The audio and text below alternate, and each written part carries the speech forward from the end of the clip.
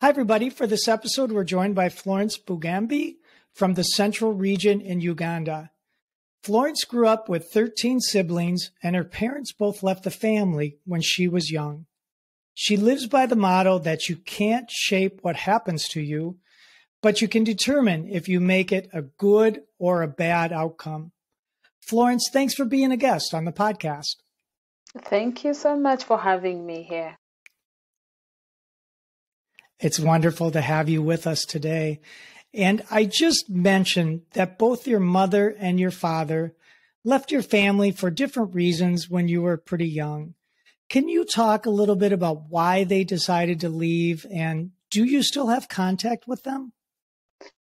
Um, okay, thank you so much again. Uh, being a young child, I may not know, I didn't know the reasons why first my mom left when I was three years. She had her reasons that I don't know up to now. And then I was left to grow up with my father, who left when I was 15 years old for another for another woman.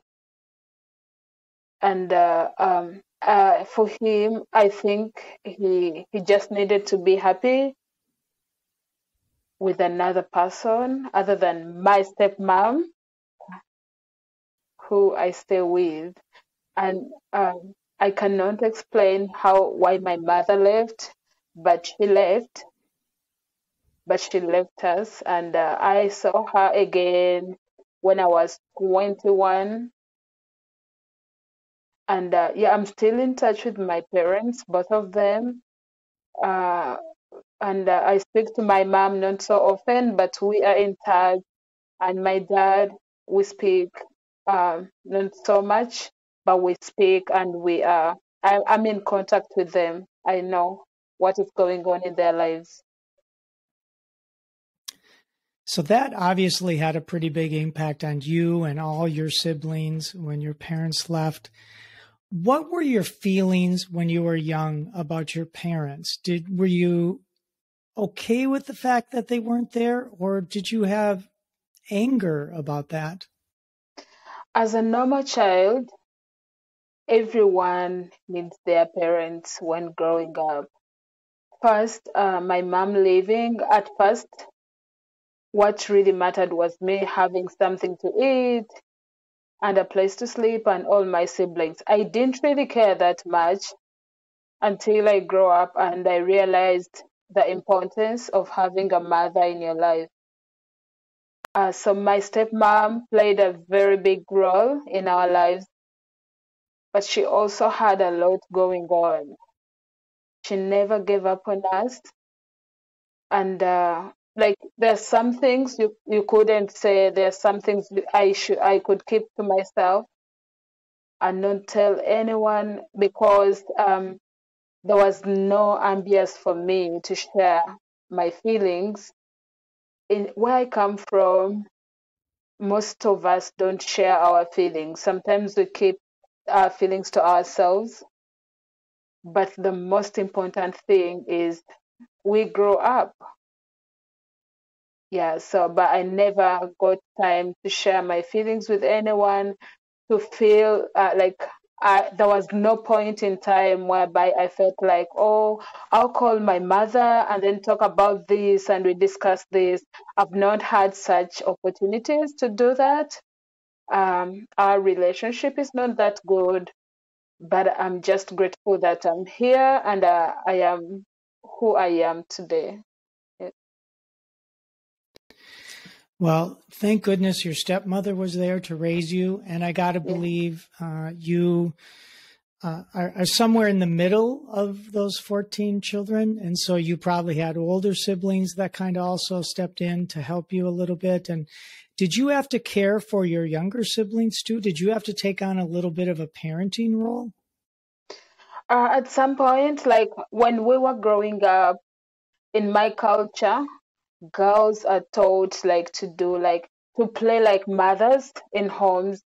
So you have to cook for them, wash, do laundry for them, and make sure they've eaten. and at some point when when there is no food at home if you have like any money you can chip in and buy the food so at some point yes i had to be like that till now till today so i cannot be home and then there is no food and then just and do nothing so it's my responsibility to ensure that if i have money my sisters my young sisters have food at home so it's really um, a role that uh, I've been playing and I will continue playing for the rest of my life. If there is need, I need to come in and do that and provide.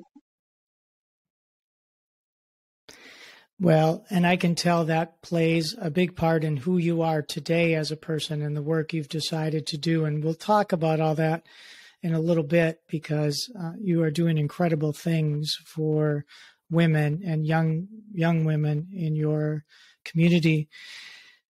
But when you were younger, did you ever think you were going to grow up and do this kind of work where you would help other people? Did was that something that was running through your mind that you're going to grow up and make sure other women don't have to experience some of the things you did? Uh, when I was young, I think uh, my my I just wanted to be a lawyer. You know, when you're just young, they ask you what do you want to be. I said I want to be a lawyer, a doctor. So for me, I wanted to be a lawyer. But education being too expensive in my country and considering where I'm coming from, my finances, my parents' finances, and my entire family, I could not achieve that. But something happened in my life, in my family. Uh, we reached at a point where we were losing a house to stay. Like were going to lose everything, and we were going to lose our house. And I saw how my stepmom suffered to ensure that we have a roof under our head on our head that really uh, like made me want to help more women that are going through the difficult situations like she's going through. It was really hard for her to make uh, to ensure that we have food, and now our house was being taken by the bank. So it was really a lot of things. It was traumatizing for all of us. I cried every day. My sisters cried every day, but we were just young. We didn't have anything to do. So I saw my sisters choosing to move in with with men, which was not the greatest decision at the time because they were really young. They were still in their teenage, so it was really not really um, it was really not a good thing and not pleasing at all. So from that time, I developed a passion of wanting to work with women that are suffering, women that are trying to make ends meet, women that are trying to survive with their children, regardless whether they have men around them or not. So I just wanted that. So my passion grew so much, and I said I wanted to be in school. If I want to create an impact and cause change to these people, I need to be in school. So my passion for being in school really grew so high and I just wanted to be in school so that I can be a part of the women that help others thrive in, in life. Well, that's an incredible uh, amount of resilience that you have to kind of endure all those difficulties you had as a young person and then turn around and give back to other people that's uh, quite a story and really a testimony to you and your character and your willingness to just be a decent human being. You had 13 siblings. Uh, are your siblings like that too? Have they taken a similar path or are you different than the rest of your siblings? So, in my family, I'm the only one uh, with a degree. And mm-hmm. uh, like I said, education is really expensive. choosing that path, that means you're going to sacrifice a lot. Uh, for me, I even spent years without going to stores to buy anything for myself. Like it was really hard. There was no money to spend on that. So I just chose to focus on school. Whatever little money I got, I would just save it for school. Uh, not so many people can do that, and my sisters couldn't do that. They just needed to survive. All of us needed to survive, but I needed more. I just wanted to be an instrument in my community and in my family. So I chose the path, like I chose to be in school. I chose I chose to know God more to get like strength because there was no one I could talk to and they understand me. So I needed like a place to go so that I'm understood, so that uh, I needed a place to lean on. I need a source of strength. So, and one of the things that has really helped me over the years is my relationship with God. So um, I chose that and um, not giving up.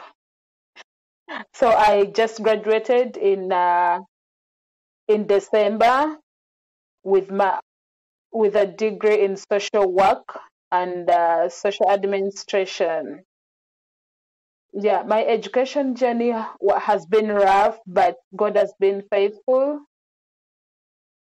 and I'm so grateful for all the opportunities that have come my way. How did you get introduced to religion and your relationship with God? Was that something your family was involved with or your community, or did you just seek that out on your own? How did you build that relationship and where was the motivation coming from?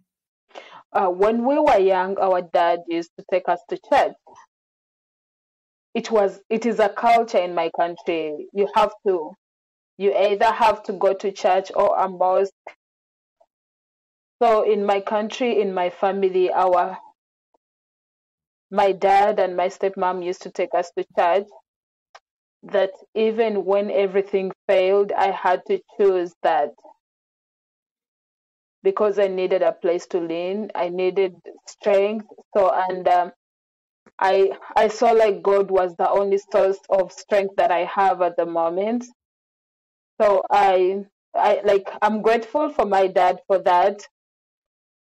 Uh, because like I got to know God more because of that.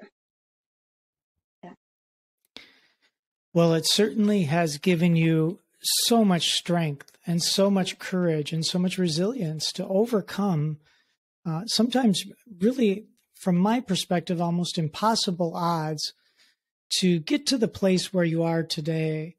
And i know you just graduated. Congratulations on that. Thank way you. to go. and you're actually here in minnesota from uganda on a fellowship. What have you been learning in your fellowship when you're here in the United States? Uh, so in the fellowship, uh, right now I work with an agency called Wise Women Initiatives for Self Empowerment. Uh, mm-hmm. We empower girls and women, immigrant women. And uh, one of the things, like most of the things we've been learning, uh, like ethical leadership, um, like we uh, there there are so many different ways of being an ethical leader and one of them is being kind uh, being an encourager practicing inclusion care and consideration. And whenever i take on these classes and I, I just feel like this is where I'm supposed to be because being an ethical leader sometimes is draining because of the societies we live in and the communities we serve. But for anything to be effective and give you good res- results in this generation, we need to be ethical. Sometimes we struggle with our brains, the inferiority complex, the things that are happening around us. But if we choose to be ethical leaders, I think we can get better results from the communities, from our organizations, and the people around us. Yep. Florence, believe it or not, we have to take a short break. But when we come back, I would like to talk about your work and specifically the organization that you started. So we'll be right back after this short break. And we're back. And Florence, right before the break, I was talking about an organization that you started in Uganda, uh, the Thread of Life Women Empowerment. And I know you and a friend started this organization on your own. Can you talk a little bit about how you came up with the idea and where the courage came from to start something like the Thread of Life Women Empowerment? Um, Thread of Life uh, came into existence like my friend and I used to volunteer at an organization that had that that and we were working with women from the slums and then and then this organization closed. And uh, we were so much involved in with the women. We knew their problems and what what they were going through with their children. And so we felt the need to keep to keep going and so we decided to open up an organization for women where we empower them with skills, knowledge, and opportunities to support themselves and their kids.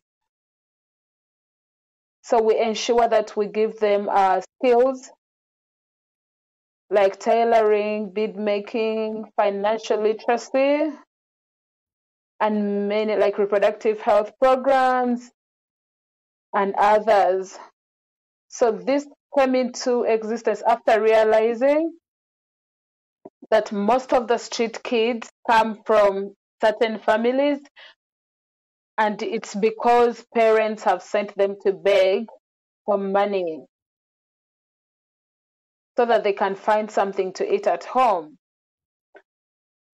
So we decided to have these women train them into tailoring program. And uh, they make different products. And in the, do, do, doing these different doing these different products we find market for them. And then when we sell we pay them. And so they have something to take back home. So every year we have classes we have a class that starts like we usually have six months training. The first three months is like for the starters, where they have to draft, do the pedaling, learn more about the machine and how it works and all that. And then after that, in the next three months, they they start making the real product and once once Thread of Life has orders, we use these very women to make the products. And we believe that if women got something to do and they are economically empowered, they can keep their families together. So our goal is, is to see families stay together. Yeah. What a noble cause. And it sounds like an absolutely great need for these women to have options in their life. It sounds like they're just out of options and they don't have equitable opportunities to things to advance themselves. And you're trying to put those into place. As an executive director myself, I'm always worrying about money and how to pay for things and how to keep this going. How did you fund this? Where did the money come from so that you could make a little money yourself? Your friend could, because you can't just do this for free, I don't think. How are you doing that? Uh, like when we was when we started, we first had a break. The women were not in class because we didn't have any fundings. And so in 2020, we got um, a, uh, an account with Global Giving where we talked about what we want to do with women and what we actually do. So, and these women, so we get like a few friends that can fund us. And uh, on that project, we have like five people so we, we try to yeah. work within our means for now. And we yeah. believe with time, when we get more funding, we can expand and do, uh, we can expand the activities and add in more women because our goal is to empower like 240 women like in three years but we haven't reached that goal because we don't have much funding yet. We just didn't want mm-hmm. to sit back I... and relax. Whatever little we get, we want to put it in use and empower a woman. Yeah. Good for you. I certainly hope that you get the enough funding that you need to build your capacity because it sounds like you're doing great things. And I know you work with a lot of young women too. Um, yeah what have you learned about yourself, Florence, in helping these young women to gain some independence? What have you learned about you in your work? I've learned that um, if there is an opportunity, don't take it for granted because many people do not have that. Whatever you're having, so many people would kill to have it. And not everyone can afford to have what everyone has. So watching these young girls go through the mistakes they've made, becoming single moms, losing hope, no education, they literally stop like dreaming which is really so bad so even if it's an opportunity to have hope even if it's an opportunity to be in school don't take it for granted. I've learned that. I've learned to be appreciative and not taking things for granted. I think that's very well said. And I learned a long time ago in life that it's always your reference point of how you want to compare yourself. And you can always find people who have more than you or have it better than you. And you can always find people who have less than you do and have it worse off than you do. And I've always tried to choose to compare myself to the people that have less than I do because that just makes me feel so hopeful and helpful and lucky that I've got what I have. And I think of my upbringing compared to yours, Florence. I had so much more. Uh, I had a stable family, stable environment. Never, I didn't know what it was like to be hungry. And you have come out with such a good, positive attitude about life and that ability that I said in the beginning about you can't determine what happens to you, but you can determine if it's going to be a good or bad outcome, whatever that is happens to you. How yeah. in the world are you so strong? How how do you develop that attitude when it would have been so easy to go the other way and be angry, angry and bitter? Um, where does your strength come from? I believe that in all we do, we cannot change where we come from and what happens to us, but we can determine whether we can make choices whether to be to use it for our good or for the for the bad so Mhm. uh, going through what i went through has really shaped me a lot anything that doesn't kill you makes you stronger as Mm. long as you still have breath you can still be that person that you want to be i don't look at my what i've been through as uh, like as an enemy to what i want to become but i look at it as an opportunity it makes me stronger Wow. Yeah because like not like not so many people like we all go through different challenges. But we can choose either to be good or bad after these challenges happen to us. Yeah because the choice is in our hands. So what gives me strength is like going through those challenges. I just keep on the journey. Like i don't give up because challenges come i just know after them if i win them i'll be a better person and i'll be wiser i'll be stronger and i'll be able to do greater things because i've been through some tough times. So i believe using that like the challenges i use as opportunities to teach others and also tell another person that there is hope like do not give up. Things happen but tomorrow is going to be better. Because i've been there and and my challenges give me strength. So i use them as my strength to still continue in my journey. Yeah. Your perspective on life is so deep and so rich and so grateful. I am just truly impressed uh, with you and your character and your ability to just keep going and doing better for others.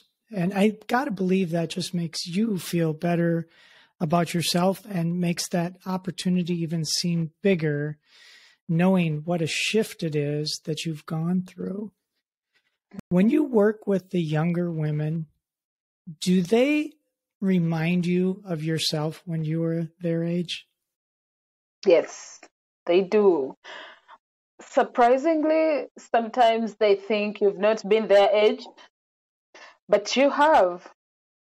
Uh, growing up one of the greatest challenge i think i can talk about was not having someone to share my vision with and my troubles with that was really so bad.